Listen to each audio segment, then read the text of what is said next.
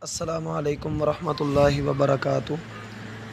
الحمد للہ وسلاۃ وسلام علی رسول اللہ۔ اعوذ باللہ من الشیطان الرجیم۔ بسم اللہ الرحمن الرحیم۔ دین اسلام لا ریب دین ہے۔ اس کی کسی بھی تعلیم میں کوئی شک نہیں ہے۔ یہ شکوک و شبہات سے پاک ہے۔ اور انسانی ذہن میں آنے والے سوالات کا، ذہنی الجھنوں کا، یہ شافی جواب دیتا ہے۔ اور انسان کو دستور حیات دے کر زندگی گزارنے کا ایک منہج دیتا ہے، جس میں انسان اپنی بندگی اللہ سبحانہ و تعالیٰ کے لیے خاص کر دیتا ہے۔ اور اس راہ راست پر چلتا ہوا وہ صراط مستقیم کی ان بلندیوں پر جا پہنچتا ہے کہ اسے عبودیت کا وہ درجہ ملتا ہے کہ جس میں وہ اللہ سبحانہ و تعالیٰ کے بہت قریب ہو کر اللہ کی بندگی کرتا ہے۔ دین حنیف جیسا کہ اللہ سبحانہ و تعالیٰ نے اس کی حفاظت فرمائی، یہ ہم تک پہنچا۔ بعض لوگ اللہ سبحانہ و تعالیٰ کے دین میں کچھ ایسے القابات، کچھ ایسے واقعات، کچھ ایسی حکایات بیان کر دیتے ہیں جن کا اس دین کے اندر کوئی تعلق نہیں ہوتا ہے۔ اور بات وہ بڑے بڑے انبیاء کے نام پر بڑے بڑے صحابہ کے نام پر بیان کی جاتی ہے۔ اور ان کے بارے میں کہا جاتا ہے کہ یہ بیان کی گئی ہیں۔ فلاں نے ان کو اس طرح سے اپنی کتاب کے اندر ذکر کیا ہے اور یہ روایات جو ہیں وہ بیان کی گئی ہیں۔ جب ہم عربی متن کو دیکھتے ہیں تو اس میں بھی یہی الفاظ ہوتے ہیں کہ کہا گیا ہے، بیان کیا گیا ہے، روایت کیا گیا ہے، ذکر کیا گیا ہے۔ اس طرح کے الفاظ ان کو عربی زبان کے اندر سیغہ تمریز کہا جاتا ہے۔ ایسی روایات، ضعیف روایات ہوتی ہیں اور ان کو بیان کرنا درست نہیں ہے۔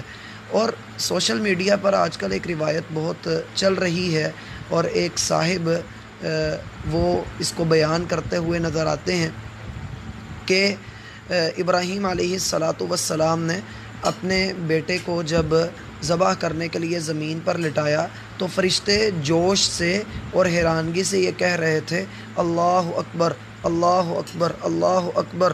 اور ابراہیم علیہ السلاۃ وسلام کا عقیدہ توحید اور جذبہ توحید مزید بڑھا تو انہوں نے کہا، لا الہ الا اللہ واللہ اکبر.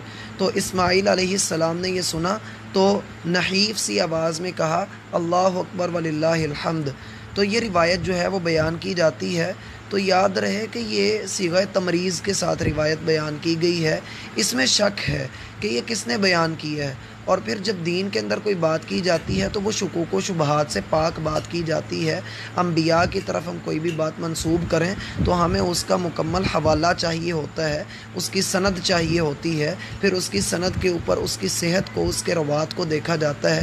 تو جب ہم دیکھتے ہیں تو یہ روایت تفسیر قرطبی کے علاوہ روح البیان میں، تفسیر ابی مسعود میں، فتح البیان فی مقاصد القرآن اور دیگر کئی ایک کتابوں کے اندر موجود ہے۔ لیکن بہت ساری تلاش کے باوجود ہمیں اس کا جو ہے وہ سند کا کوئی حوالہ یا سند نہیں مل سکی ہے۔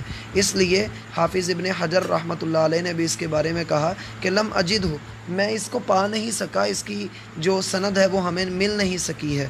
تو تکبیرات کے حوالے سے جو اجر بیان کیا جاتا ہے اور جو بات بیان کی جاتی ہے، وہ نبی علیہ السلاۃ وسلام سے اس طرح سے ثابت نہیں ہے جیسا کہ یہ بیان کیا جا رہا ہے۔ ویسے صحیح و ترغیب و ترغیب سلسلہ صحیحہ، الجامع الصغیر اور دیگر کتابوں کے اندر صحیح صنعت کے ساتھ روایت موجود ہے کہ کوئی بھی تکبیر کہنے والا ان ایام کے اندر جب تکبیر کہتا ہے تو اسے خوشخبری دی جاتی ہے۔ صحابہ نے کہا ہے اللہ کے رسول، کیا اسے جنت کی خوشخبری دی جاتی ہے؟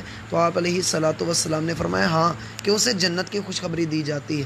تو ان ایام کے اندر ویسے ہی تکبیرات کو، ان کلمات کو زیادہ کثرت سے پڑھنا چاہیے، جیسا کہ تبرانی کے اندر صحیح صنعت کے ساتھ موجود ہے کہ سیدنا عبداللہ بن عمر رضی اللہ عنہما بازار میں نکل جایا کرتے تھے اور بلند آواز سے تکبیرات پڑھا کرتے تھے۔ اسی طرح سے امام وہاب بن منبع رحمہ اللہ وہ بھی اس بات کو بیان کرتے ہیں کہ ہم نے دیکھا ہے اپنے زمانے میں کہ لوگ اتنی کثرت سے تکبیرات پڑھا کرتے تھے کہ گویا سمندر کی لہریں ہوں اور بلند آواز سے بازاروں کے اندر پبلک پوائنٹس پر یہ تکبیرات پڑھنی چاہیے اور ان کو دہراتے رہنا چاہیے۔